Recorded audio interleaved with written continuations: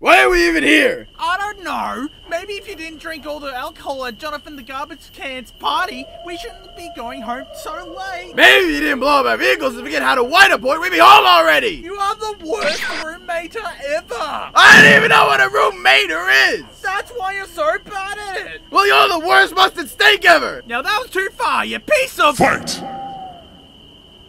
Wait, what? Who are we fighting? I don't know. But as long as we stick together, we'll be fine, right? Oh. oh! Oh! What the hell, man? Oh!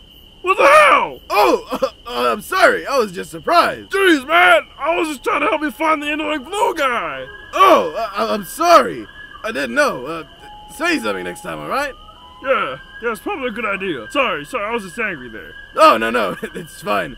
I did kick you in the face after all. Oh, it's fine, it's fine, I'm okay. I've got a whole life ahead of Oh! Hey!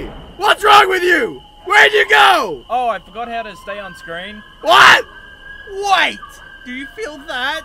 There's dread in the air. There are no rests and resolutions for us. The more the merrier could not be less correct. Ah! Oh, teleport stop! How do I teleport onto Mars? Ah! Oh. That was still more pleasant than the horror in that forest.